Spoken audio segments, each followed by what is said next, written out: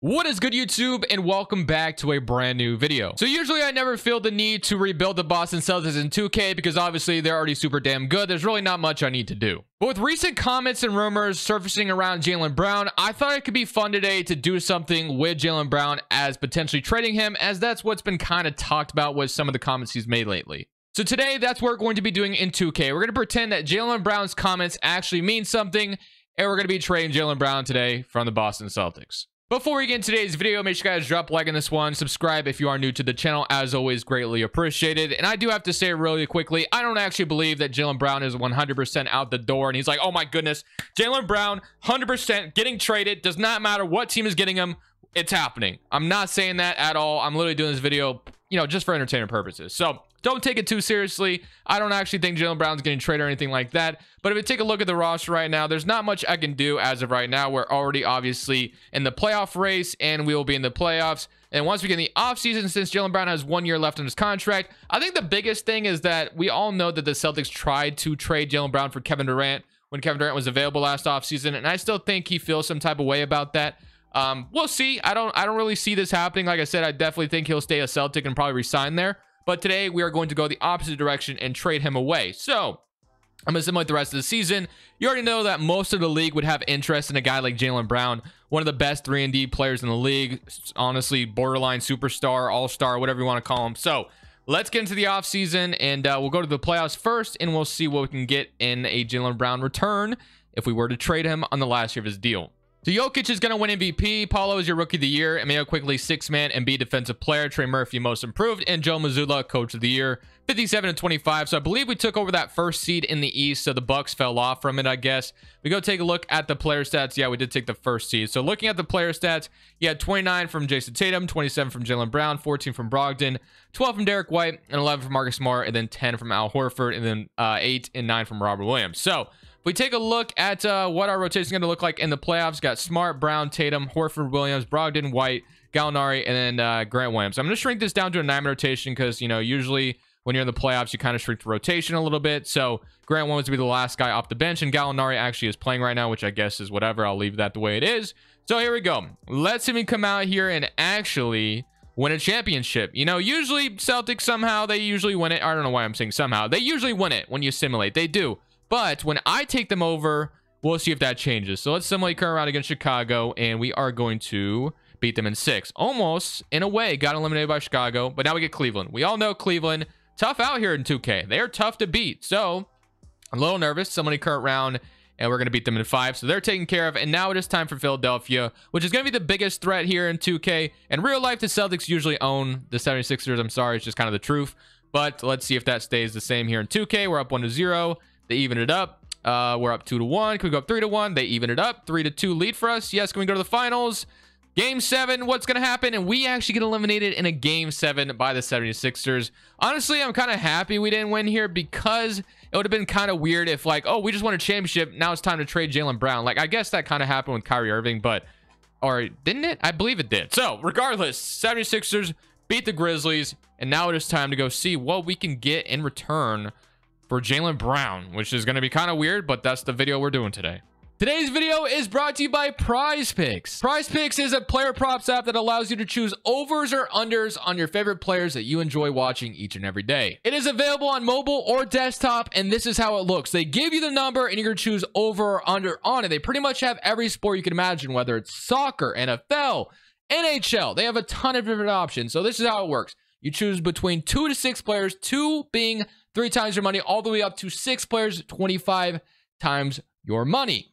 Prize Picks has just elevated my watching experience to a whole new level. So if you want to sign up, I also have some of my entries as examples here. That way you can kind of see how it works. But if you want to sign up, links in the description. Use code Crushables. They match your deposit dollar for dollar up to $100. Thank you, Prize Picks, for sponsoring today's video. So we are going to start here in the trade finder. It's usually not that good to start in the trade finder when you're trying to make trades for superstars or trying to trade away superstar because obviously you're not getting the best valuable possible. It's usually better to just build your own trade. So first offer, we're going to go through these 18 offers and uh, if I like one of them, we'll send it through. If I don't, I'll try to, you know, build upon it. So Maxey and Tobias Harris. Honestly, Maxey would be a nice piece to bring in return, but we're going to keep looking at the other offers. Middleton, Bobby Portis, No, thank you. Zach LaVine and Patrick Williams. Zach LaVine and the small forward, which is kind of weird, but okay. That's definitely something to think about. Paul George, Norman Powell. No, thank you. Murray and Capela. So we can bring in Murray, but we already have like two guards as it is. And then Capela would be kind of a nice big, but we do have Robert Williams already, so I don't really see the point of that. Tyler Herro, Nikola Jovic, eh, not really my style. Cam Whitmore, Rozier. Markkanen and Walker Kessler is definitely kind of fun. Uh, not gonna lie to you, but uh, don't know how realistic that would really be for the Jazz to just do that. Because like, why would they do this? Doesn't make a ton of sense. The Nets giving me Mikal Bridges. Okay, that's uh, interesting. Aaron Gordon and KCP, Keyonte George, Bennedict Mathurin. Ingram and Dyson Daniels, Jaden Ivey and Jalen Duren. Okay, if we were going more towards a rebuild route, then yeah. But we still have Jayson Tatum, so we're still going to try to compete a little bit. Vassell, and you got Anfernee Simons and Shaedon Sharpe. Kind of cool, not to lie. Not a bad offer by any means. Uh, Jonathan Kuminga and Klay Thompson.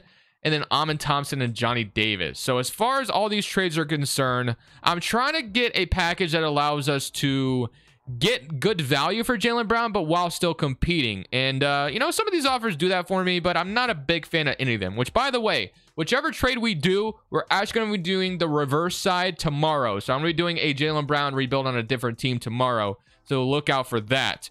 But I'm going to go try to build my own trade because I'm not a big fan of any of these trades right now. And uh, we'll see if I can come up with something good.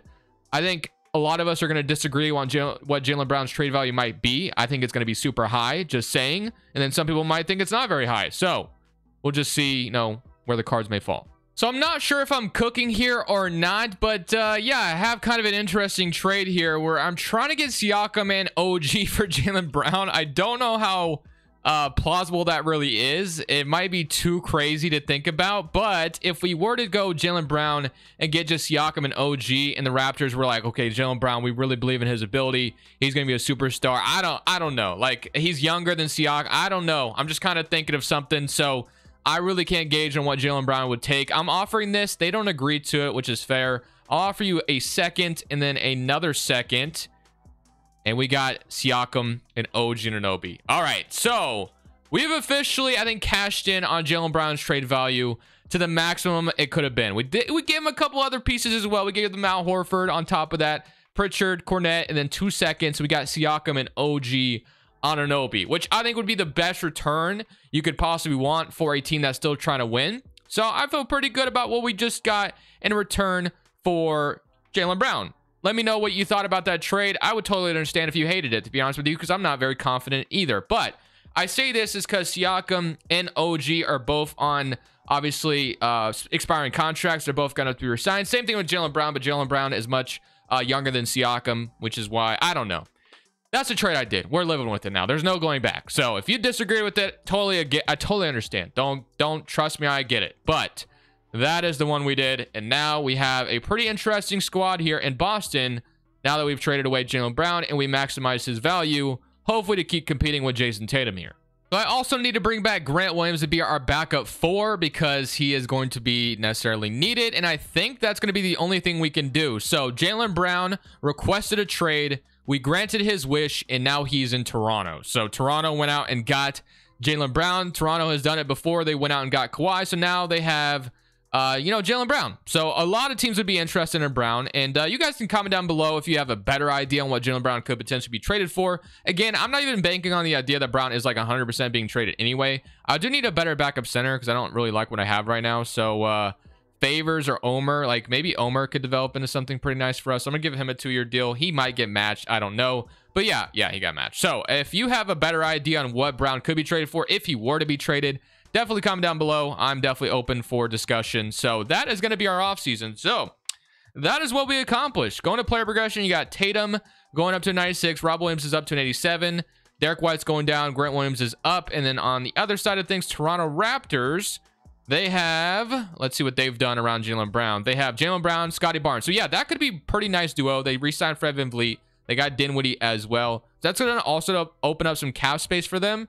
So yeah, I think it would be kind of fun if they went out and got Jaylen Brown and were willing to move on from the two guys that have kind of led the franchise lately. So kind of a fun idea. But uh, let's go look at this rotation now that we've accomplished what we set out to accomplish. So let's see what this was about to look like and if we're still going to be a very good team. I honestly think this uh, is going to be a very good team still. Like, even with Jaylen Brown gone, getting Siakam and OG in return is crazy. They actually have OG coming off the bench, which I find kind of wild. What is the proficiency right now? It must be a defense, right? Or no, it's a balanced. I still don't understand why Derrick White's starting over OG. I'm probably going to change that. I would prefer to start OG. Derrick White's contract is going to come in handy probably later down the line where we can uh, throw him in a trade where his contract is expiring. But let's force non-starter on him. That way OG gets to start. And then Brogdon or Smart, I mean, they're kind of interchangeable. It really doesn't matter to me who starts. I like both of them. So Brogdon, OG, Tatum, Siakam, Robert Williams, Smart, White, Grant Williams, and then Metu. And again, we can start Derrick. We can start Marcus Smart if we need to. Defensively, this lineup is kind of nasty. This is a pretty nasty defensive lineup. If we go to defensive proficiency, I wonder if this is at least four and a half. It's only four. Damn. Okay. Well, that's all right. So I will just stick with balance. I'll see you guys at the end of the season and we will see how this team is doing. So hopefully, with Siakam and OG still here, we're still a top team in the East. So MVP is going to go to Darius Garland. Wembanyama is your rookie of the year. And San Antonio Christian Wood, six man, Yacht defensive player. Then Garland's most improved. So he also wins MVP and most improved in the same season. Uh, Bickerstaff, coach of the year, and Brandon Harrison. So Cleveland is on, uh, you know, their tear right now. So we got Garland, Morant, Tatum, Giannis, and Jokic. All be a second team and all be a third team. All defense first team. We got Robert Williams making it, which is a W. And here's your all defensive second team. So we are the fourth in the East, and wow, you can't script it any better. We match up against Toronto, which of course we know we traded Jaylen Brown to. So 33 points from Jayson Tatum, 20 from Siakam, 6.5 from OG, 16 from Brogdon off the bench, Smart with 10, and then 10 from Derrick White. Rob Williams 9 and 11 and almost three blocks per game. Uh, Grant Williams, five points, and then Metu with four points. So not too shabby. Obviously, Tatum is the main guy here. Then Siakam not doing too bad. We're going to have to re-sign him and uh, OG this offseason. So that's going to be kind of steep. We'll see how that goes for us. But going in against Toronto in round one, this honestly should be a ton of fun. So they got Fred VanVleet, Brown, Barnes, Al Horford, Achiuwa. Yeah, I mean, if you really look at the team, it's not too bad. So tomorrow we'll probably be doing a Jaylen Brown Raptors rebuild, by the way. So if you guys are interested in that, uh, definitely be excited for that. I don't know why I said it that way, but yeah, we're doing that tomorrow. So Tatum or Brown, Fred VanVleet, Barnes, Horford, Achiuwa, Dinwiddie. Can we take them down? Similarly, current round, it would be ironic if we lost them. We beat them in five, though, thankfully. So uh, I care. I'm actually curious. What did Jaylen Brown average in Toronto? Let's go take a look. So if we take a look, Jaylen Brown averaged 33 points per game. Rightfully so. No surprise there. He became the lead guy there, and hopefully he resigns. But that's not really my problem. We get to play Cleveland now, which uh, have a bad feeling about this one. We all know how good Cleveland is, and uh, there's a good chance we get taken down. They off or they got Josh Hart, and they got Mobley, Jarrett Allen. Mitchell and Garland, pretty damn good team. As we know, game one, we're down 1 to 0. We lose by 10. Game two, we're down 2 to 0. Can we get one on them? We do. Can we even it up? We cannot. Can we beat them in five? Or can we get one more? No, they beat us in five. So, similar playoffs, Cavs and Grizzlies, and you're going to have the Cavs go on to win a championship. So, it is very clear and apparent what we have is not good enough to take down Cleveland. So, we got to get back to work. We're going to have to resign Siakam. I'm going to have to resign OG. And then we're going to have to probably make another big move if we want any chance to compete with Cleveland in this video. Great to see ahead of us Siakam's money, OG Anunoby's money, Grant Williams to resign, and then everyone else I'm not too concerned about. So let's start off with Siakam. We gave uh, Jaylen Brown away for this, so obviously I think it's safe to say we want Siakam. Let's see if that would get it done or if we're going to lose out on him. So we're good on Siakam. And I'm to give OG a deal as well, bring him back, and then Grant Williams I'm bringing back as well. So I'm going to offer all these guys money to bring them back. Don't want to lose either of them, so we got that done. Like I said, now we need like a big move this offseason. And uh, a guy I was thinking about was going all in on Damian Lillard, but we really don't have that good of assets. I could probably make a trade, go through here in 2K uh, easily just by, you know, throwing guys at him. But I don't know why the Blazers would want like a Brogdon or a Smart if they're trading Dame. That doesn't make any sense. So I'm not going to go that route. I still am looking for like a really good point guard to replace I mean, I don't necessarily, I just feel like I need something overpowered. Like, I just need something overpowered if I'm going to take down the Cavaliers. It's just how it goes. So, I love Smart and Brogdon as uh, our point guards, but if I can get something better, I feel like I got to, right? I got to try. So, Derrick White, I'm probably going to have to use his money. So, if I can keep either Brogdon or Smart, I'm going to do it. So, I'm going to try to trade one of Brogdon and then Derek White for something good. So, if I just threw this out there right now in the trade finder, uh, actually, let's just do this because kind of looked earlier. I wasn't a big fan of anything. So Luka, Ja, Shai, Stephen Curry, Dame, Trae Young, Garland, LaMelo, uh, who is re-signed, Halliburton, De'Aaron Fox, Cade Cunningham, James Harden, Jalen Brunson. Brunson's on the last year of his deal. Uh, he could be kind of fun. We could bring him in, 88 overall point guard. Uh, that actually could be my guy, honestly. Jalen Brunson, someone I've never traded for. Lonzo Ball, also another guy that uh, could be fun as well. I think he'd fit exactly what we need. 14 and 9, good shooting. So that's probably going to be my two targets, Lonzo Ball and Jalen Brunson. So let's even get either one of them. So I'm going to offer them Malcolm Brogdon to start this off. And I'm also going to offer Dereck Lively and then a unprotected 2025 pick. And then let's say we also got like uh, Jalen Clark, who we just drafted in the draft, by the way. So uh, two young players, a first round pick for an expiring Jalen Brunson, just averaged 19 points per game. Let's see if they would do it. They do not agree, which is fair. I'll give you another future pick, and they still don't agree. So maybe we can't get Jalen Brunson another second.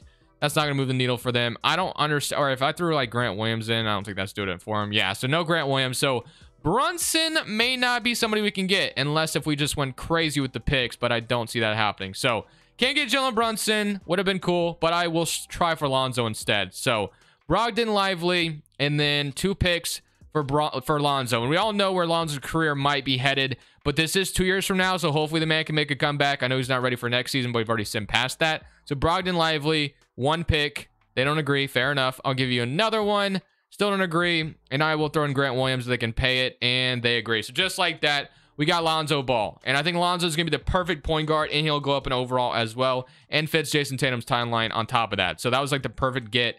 Derrick White will uh, play. Maybe we can throw him at the deadline if we need to trade him, but we need a forward. And I wouldn't mind a better backup center as well. Uh, we have Thomas Bryant, who would actually be kind of perfect. So I'm going to go for Thomas Bryant to be my backup center. Let's get him. And then can I sign a good forward as well? Doesn't look like it. So that's fine. We're going to roll with what we got. It's not going to be the greatest. Our backup forward situation is Sam Hauser. Not in love with it. Unless I could throw Sam Hauser and Clark at the wall and see. And then Metu since I just traded or got a center. Let's try this. Uh, Trey Lyles could be perfect, actually. Derrick Jones. So we got some good offers here. Exactly what I'm looking for. Milton, Bullock, uh, Robinson Earl Thybulle. And then, yeah. So I think I'm going to go with that uh, Lyles trade. So I'm going to trade Metu Hauser in a second for Trey Lyles. I'm not getting the first because I don't think that's realistic at all. So I'm just going to do the Lyles one. And boom, just like that, we got our backup four. So let's go to player progression now. Unless this team is loaded up enough to go beat the Cavs. I don't know if it's going to be, but we're going to try. So Siakam, Lonzo is up to an 87. Smart still developing, which is nice.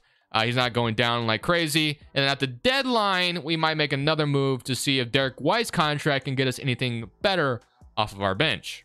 So my biggest goal here at the deadline was to upgrade the bench, and I think we're going to be doing that with this Reid trade. We are trading a first-round pick. We're trading Davidson, Derrick White, a first for DiVincenzo and Reid to upgrade our bench a little bit. I think both those guys would be incredible off our bench. Now, we got Smart, we got Lonzo starting, of course, Marcus Smart off the bench, Naz Reid, Lyles, and then DiVincenzo, which kicks Thomas Bryant out. So what I'm going to do is see if I can throw Bryant and Lyles for anything good, and that will be kind of my deadline. Let's see if anything pops up for these two guys. Uh, so we got Plumlee, Clark. If anything, nothing good pops up, I probably won't, you know, force anything. Jordan Nwora, Kogi. Uh, you got Jose Alvarado. So this gives us some depth. Talen Horton Tucker. And a fir- we're trading another first, though. I don't love the idea of that. So THT would be nice. What's he doing on the season? 11 points on 40% shooting off the bench. Now, he is going to be playing back a point guard because I think we already have one in Smart.